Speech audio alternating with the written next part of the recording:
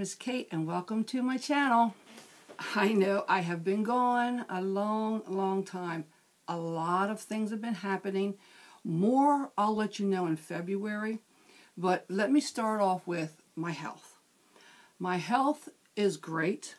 You know I started CrossFit. I think I told you that on my last video. I've lost 28 pounds. My blood work when I first started CrossFit was my A1C. If people know what the A1C is, um, for diabetics, mine was 8.5. I am now 5.1. I'm no longer diabetic. I'm not on insulin. I'm not on the pill. Nothing for diabetes. Just CrossFit and watching my diet. And uh, my liver enzymes are fairly normal, so that's doing well too. So I'm doing really good, and I really am enjoying the CrossFit. It really keeps me going and doing my meal preps and everything. So, so far so good. It's been, uh, let me see, since July, so about six months now. We're almost, yeah, been six months I started beginning of July, end of June, something like that.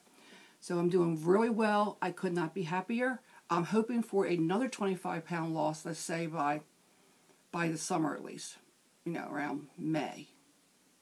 Maybe before that, but if I can get another 25 pound loss, I'll be happy. So let me show you what I have been doing, which has been mostly work. but uh, I have been carrying my purses and I've been watching the purse videos. Some I comment on, some I don't. And I change out sometimes my purses of what I see on the purse videos. so um, unfortunately, I haven't got into the Kipling. Um, buy one down the road, maybe, maybe.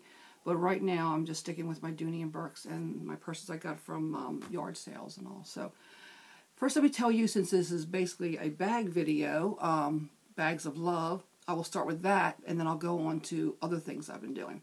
So, health-wise, I'm doing great. I got more ultrasounds, I got more tests coming up, and hopefully, everything's going to be great on that too. What I'm carrying right now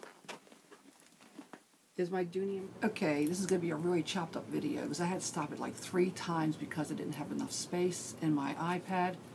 I got to clean it up. Okay, all, I've had a crazy time with my iPad, so I'm going to cut this off soon. So if you just stop.